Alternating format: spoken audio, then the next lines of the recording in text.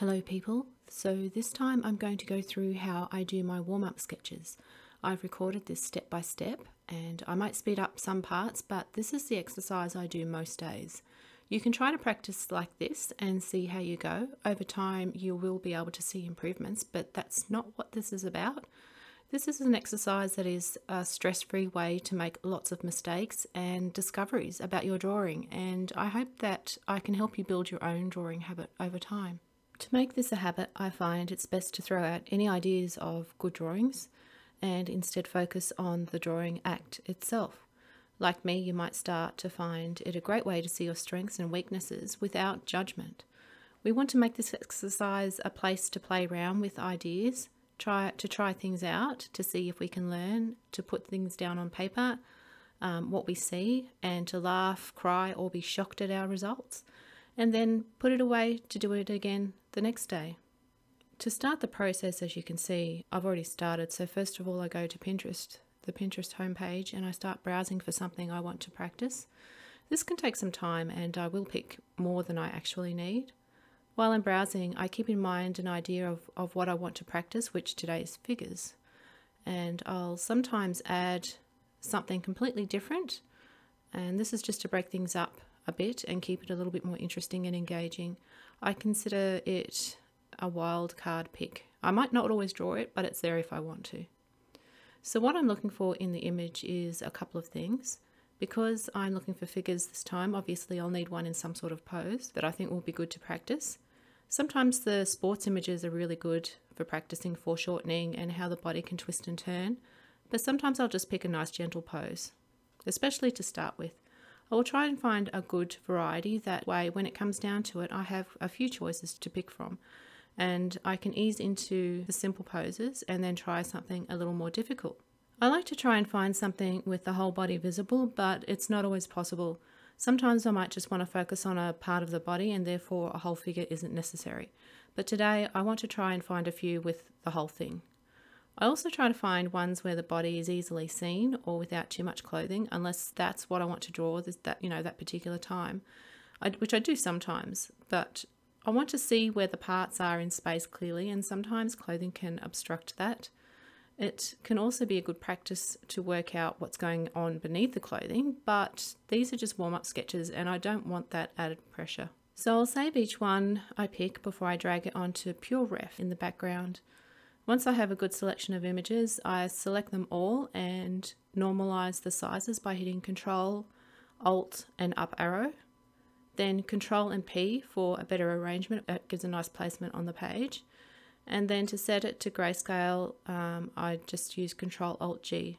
Once I've done that, I can zoom out and I, I can see what I've got to choose from. You can save this file if you want. Sometimes I do, if I have some pictures on there that I really like but didn't get around to drawing this time so I might save it for later. Then once all the preparation is done, I can grab some printer paper and two pens or biros or whatever you want to use. I like to use pen more often than not because it seems to stop me from trying to get everything perfect. I know I'm going to make lots of mistakes and I want to learn from them, so I need to see them. When I do the warm-ups in pencil, I'm more inclined to erase mistakes and try to make things look perfect, which can get really frustrating, especially when that's the perfection is not happening. So with a pen, I have to accept what's on the paper and just work with it. I use two pens, one lighter than the other, so I can first scribble and make many, many, many mistakes if I have to. And then I can use the black pen to reinforce what I want. And these are just cheap pens or biros or just, like I said, whatever's laying around, it doesn't really matter. So now it's time to get sketching. I write down the current time and choose my first warm-up sketch. I chose something, I chose the one that's a little more gentle um, because I haven't drawn anything over the weekend and I wanted to ease into it without panicking. And I pick up my green biro and while I'm not doing this one, while I'm doing this one, I'm trying not to give myself too much pressure to get it right straight away or at all because honestly that's that's just not going to happen. So I start to just feel it out and I'm not really worrying about perfection I've done this exercise a lot, so I know to just put that out of my mind, which can be really hard at the start, but just just look at what you're doing and enjoy what you're doing now. Perfection is not the objective. This is these are to relax and just enjoy the process. There are many ways to start out a figure drawing, so whichever way you like is just go with it. And then I bring out my black biro and go over the bits that I like. Uh, I'll still make corrections at this stage if I see them. If I don't see them, then not to worry. It can, if it's really that bad, it can go in the bin. I find the faces harder to do, especially the small.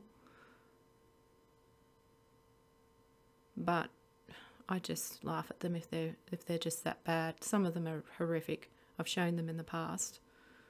But because it's pen, I just have to let any expectation go and just accept it. And that's fine.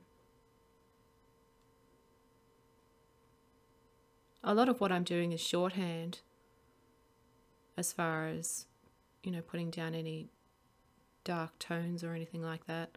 I'm not really focusing too much on anatomy. I, don't have a really good knowledge of it. I mean, anyone that does have it and watches this will know that I don't instant instantly. But, you know, these are warm up sketches. This is just to enjoy the sketching process. I mean, watching this back, I can already see some mistakes. But you see there, I moved the foot back up a little bit because I thought it was in the wrong position. And that's, and that's why I do it with the green biro underneath.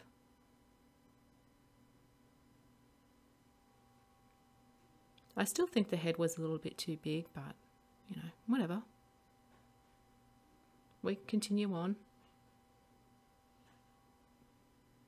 I've sped the rest of this one up a little bit. I draw quite slowly.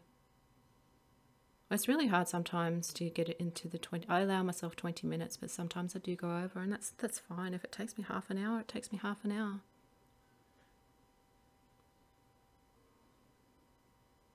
I fix up the little toes and that's it.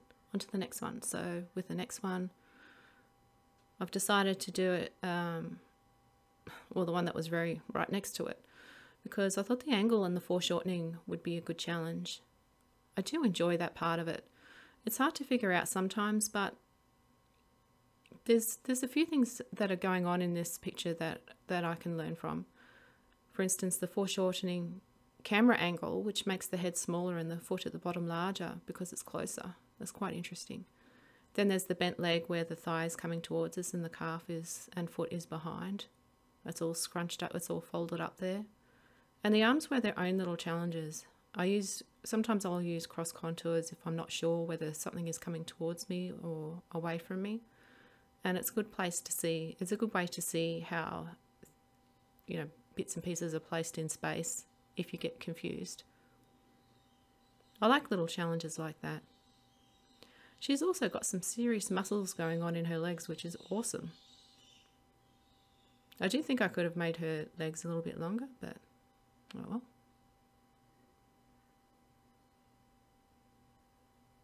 I'm not really precious. These these aren't precious drawings. These are just ways for me to work things out. I've sped it up now so that we can see the final result, which isn't too bad. But, you know, I'm trying my best not to judge. It's just what it is. That's the exercise. It's it's also an exercise in just drawing without judging. And that can be really hard to do sometimes. It's it's always in the back of our head, oh, is this good or is this not good? And it's really hard to let that go. So being able to draw anyway is really important. It's an important skill to, to keep going, I think. Anyway, nearly done with this one.